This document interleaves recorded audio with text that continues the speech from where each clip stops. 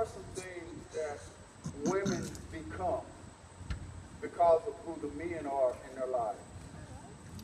We are the priest of our home, the representation of Christ to our wives. And we don't like often to admit we're, we're very easy to complain about what they are.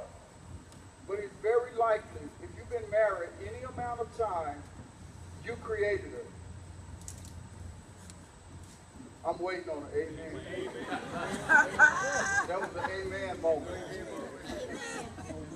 Because we are the priest of the home, as the men, we watch over and cover that woman that God gave to us. Amen. That Eve that God gave to us. The name in its origin, Eve, means woman. So whatever she is becoming, you need to understand, my brother, that it is because you are creating her. Because it is you that have to present her to the Father at the end of time. You are responsible for what you will give to him as a bride. That's who you are. We like to stick out our chest and we like to prep our bodies and we like to become an image of health.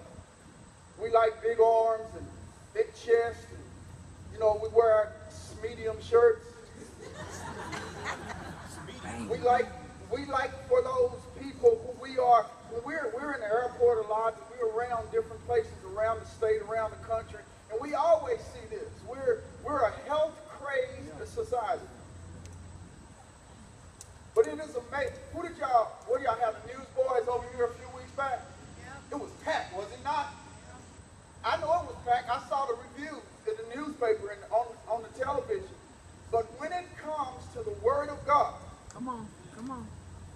Our nation, city by city, yeah. community by community, is in a drought. Yeah. Because we are fun loving, jumping up and down, hilarious people when it's to do with praise behind music. But when it is to, when the totality of something, our praise and our worship originates from the Word of God, we're lost. We're lost because we don't know what the message is God is saying to us. We walk by a Bible time and time and time and time and time and time again during the week. But our MP3 players, our CDs, our DVDs are full of noise. But the study in the quiet place of God takes us to silence, the only thing there is this mirror. And the mirror shows us who we are for real. We don't like to go to that place. So I want to talk to you about it, just a few points of revival off of the passage of scripture that that Carla read because I want to bring some points. We, we drove in this afternoon from Austin to this place. And while we were there, talked to uh, just representatives of our, of our state, the Senate, the House, and Democrats, Republicans, all of those kind of people. But the thing that we struggle with across our country is that we think that somehow Christendom boils down to the church building. We want revival and we want we want things to take place in our culture, but we don't want to do it God's way. We don't want to participate with God in every arena of life. Church is what it is, but we don't want to deal in politics and the substance of all of that. We just want God to show up. In the very Bible that we read, it was politics that killed Jesus. Come on. Amen. Amen. It was a political system of the day that revolted against the authority of Christ. And he paid the ultimate price behind it read a few points to you that I wrote down, that I had my wife, I didn't write them down. I had her to write them down while we were on the highway and uh, we were on our way here. And I want to see how it resonates with you.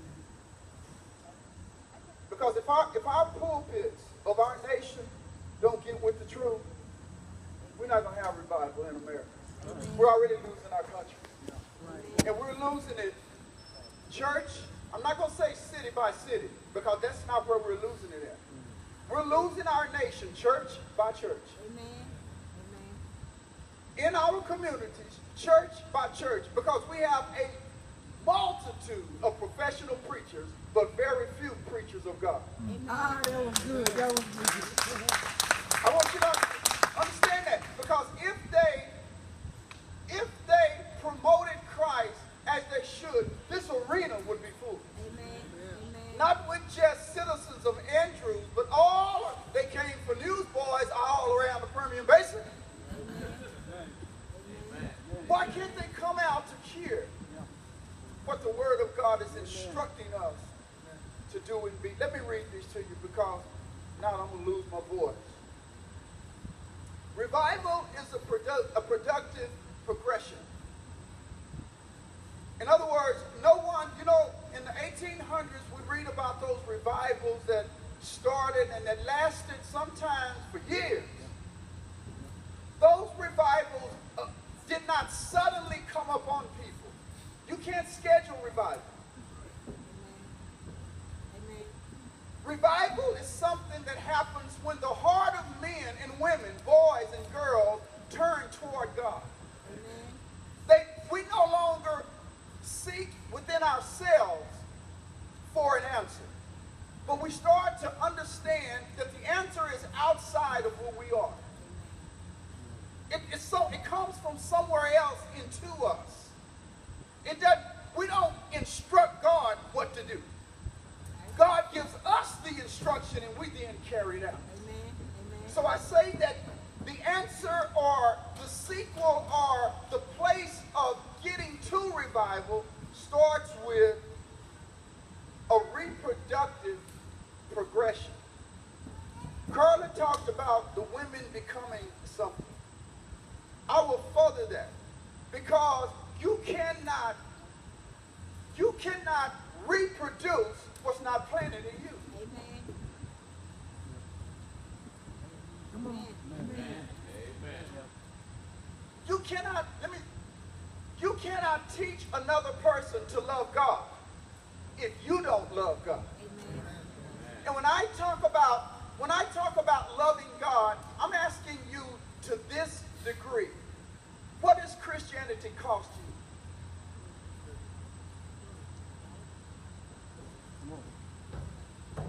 It cost Jesus his life. What did it cost you? Mm. It cost Jesus' father. Jesus lost his father's presence to complete the father's will. What does it cost you? Progressively, as you have walked with Christ, what has been the cost for doing that? It's easy to sit in church on a Sunday morning and holler hallelujah and with a hymn book. Go out in the midst of a group of, of Muslims and holler hallelujah. Praise the name of Jesus in the midst of a group of Muslims. Let me know how that worked for you. We almost got attacked in New York on a street corner because they were preaching Allah and Islam. And we were walking by, and Carla was saying, Roy, come on. Please come on. Don't get into it with these people. You look at me crazy, I'm going to look back at you crazy. You bold enough to talk about Allah, I'm bold enough to talk about Jesus. What?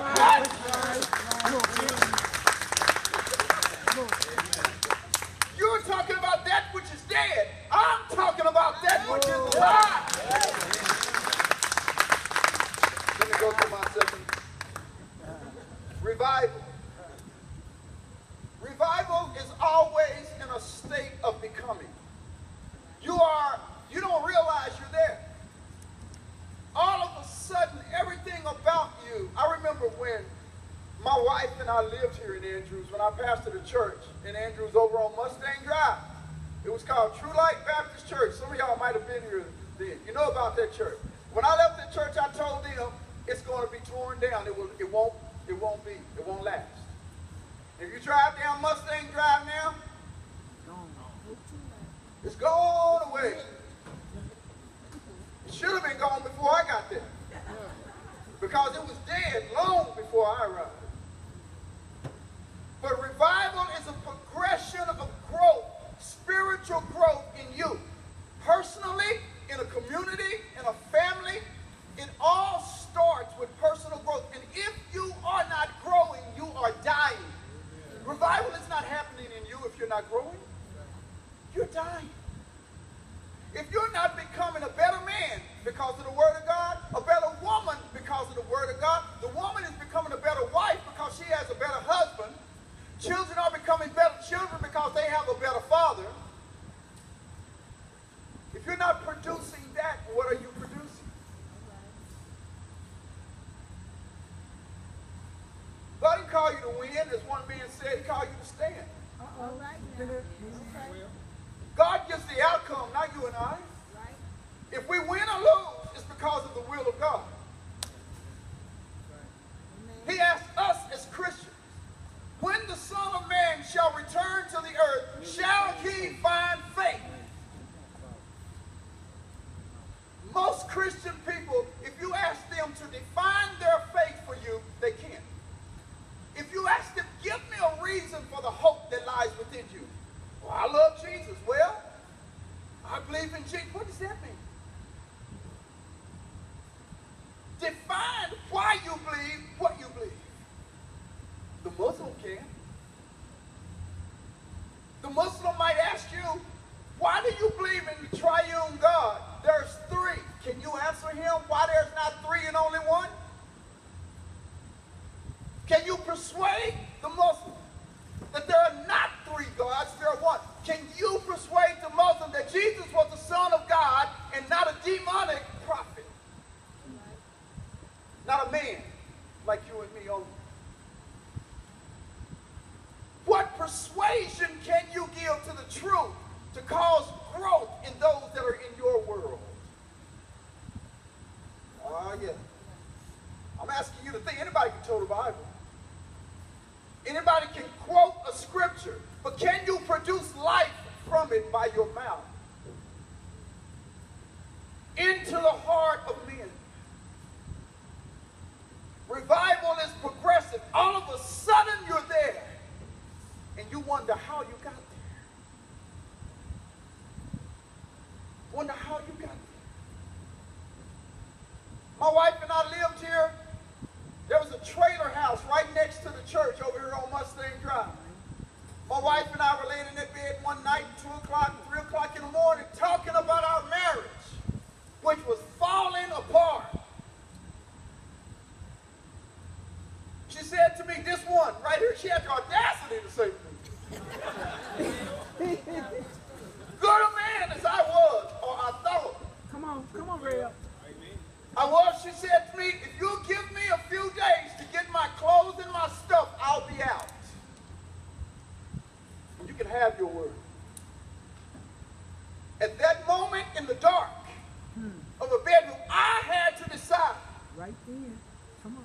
what I would let get away or not. Right. That was three years into our marriage. Our little girl was two or three years old at that time. My little Whitney, that's what we used to call her.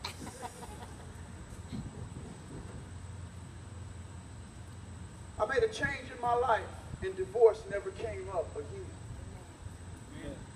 And now here we are, 33, 36 years of marriage, but 33 years later from that. It was raggedy, torn up. You could shake it and it'd fall apart, our relationship. But we had to define who Jesus was in our life we are, were allowing him to be, to, be, to become. You cannot tell the world God is able, but he can't do it in you.